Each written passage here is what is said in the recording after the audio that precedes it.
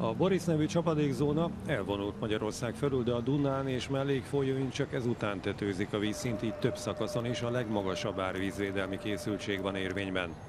Karácsony Gergely Karácsony Gergely Budapest főpolgármestere figyelmeztette a lakosokat, hogy a főváros az évtized legnagyobb árvízére számíthat. A Duna vízszintje várhatóan 5,5 méteren tetőzik Budapestnél.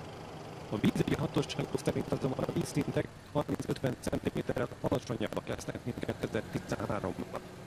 Orbán Viktor miniszterelnök jóváhagyta egy víztározó megnyitását a Lajta mentén, amely a többletvíz egy részét fel fogja tartani.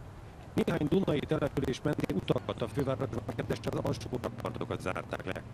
Több vasútvonalon is korlátozásokat vezettek be, amelyek a nemzetközi vonatközlekedést is érintik.